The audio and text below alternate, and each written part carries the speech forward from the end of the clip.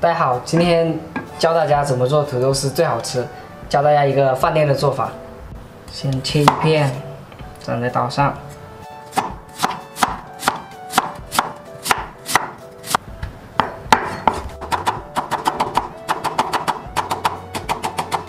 这土豆丝泡水里面，就有效的去除它的生粉，炒起来就不会粘锅。这是一个小技巧。这一步我们来切青红椒，后面给食材上色配色。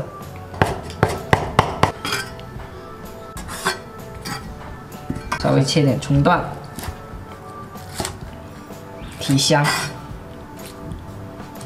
准备好蒜米，开始，稍微给它切碎，把它上面的淀粉给清洗干净，加点盐。再来点食用油，加食用油就是让后来出的菜品比较稍微亮滑一点。下入土豆丝，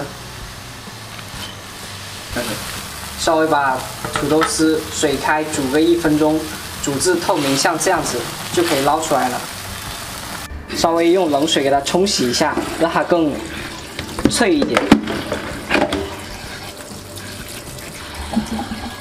把锅烧干，稍微下下点底油，滑一下锅，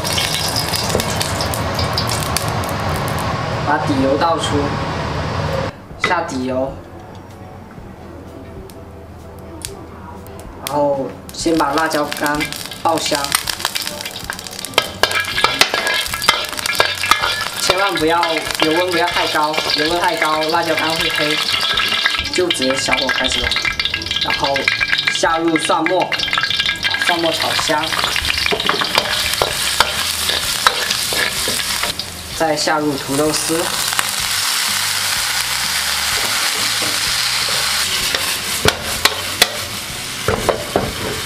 不习惯，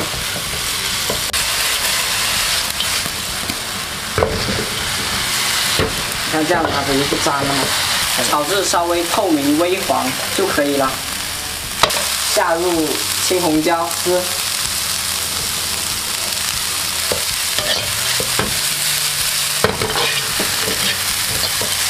稍微下点酱油，来上上色，调一下味，稍微下点盐，翻炒就可以出锅了。